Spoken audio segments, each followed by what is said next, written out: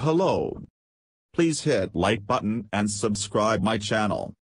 Also press bell icon for future video notifications. Thanks. For millions of patients who have lost limbs for reasons ranging from diabetes to trauma, the possibility of regaining function through natural regeneration remains out of reach. Regrowth of legs and arms remains the province of salamanders and superheroes. But in a study published in the journal Science Advances, scientists at Tufts University and Harvard University's Wyss Institute have brought us a step closer to the goal of regenerative medicine. On adult frogs, which are naturally unable to regenerate limbs, the researchers were able to trigger regrowth of a lost leg using a five-drug cocktail applied in a silicone wearable bioreactor dome that seals in the elixir over the stump for just 24 hours.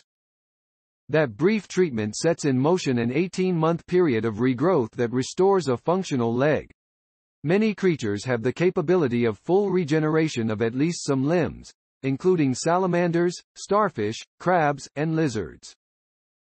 Humans are capable of closing wounds with new tissue growth, and our livers have a remarkable, almost flatworm-like capability of regenerating to full size after a 50% loss.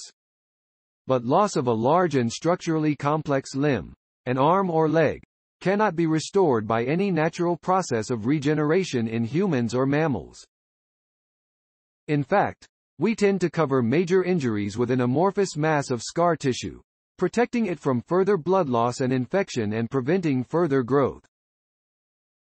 The combination and the bioreactor provided a local environment and signals that tipped the scales away from the natural tendency to close off the stump, and toward the regenerative process.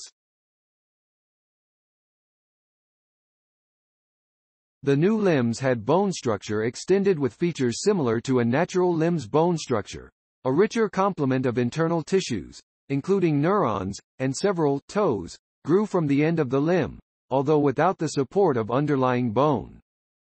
It's exciting to see that the drugs we selected were helping to create an almost complete limb, said Nirosha Murugan, research affiliate at the Allen Discovery Center at Tufts and first author of the paper. The fact that it required only a brief exposure to the drugs to set in motion a months-long regeneration process suggests that frogs and perhaps other animals may have dormant regenerative capabilities that can be triggered into action. The researchers explored the mechanisms by which the brief eye. Within the first few days after treatment, they detected the activation of known molecular pathways that are normally used in a developing embryo to help the body take shape. Activation of these pathways could allow the burden of growth and organization of tissue to be handled by the limb itself, similar to how it occurs in an embryo, rather than require ongoing therapeutic intervention over the many months it takes to grow the limb. The first stage of growth after loss of a limb is the formation of a mass of stem cells at the end of the stump called a blastema, which is used to gradually reconstruct the lost body part. The wound is rapidly covered by skin cells within the first 24 hours after the injury, protecting the reconstructing tissue underneath. Mammals and other regenerating animals will usually have their injuries exposed to air or making contact with the ground, and they can take days to weeks to close up with scar tissue, said David Kaplan, Stern Family Professor of Engineering at Tufts and co-author of the study. We'll be testing how this treatment could apply to mammals next, said corresponding author Michael Levin, Vannevar Bush Professor of Biology in the School of Art Sciences, Director of the Allen Discovery Center at Tufts, and Associate Faculty Member of the Wyss Institute. Covering the open wound with a liquid environment under the biodome, with the right drug cocktail, could provide the necessary first signals to set the regenerative process in motion, he said. It's a strategy focused on triggering dormant, inherent anatomical patterning programs, not micromanaging complex growth, since adult animals still have the information needed to make their body structures. Materials provided by Tufts University.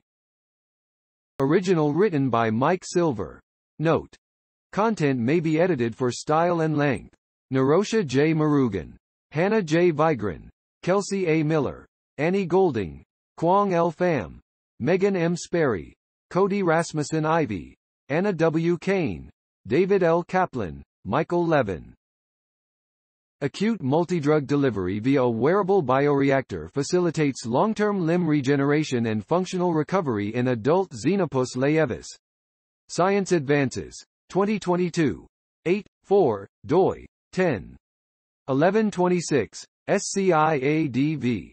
ABJ 2164 Tufts University. https colon slash slash ift. TT, 3H4GE68. Access January 26, 2022.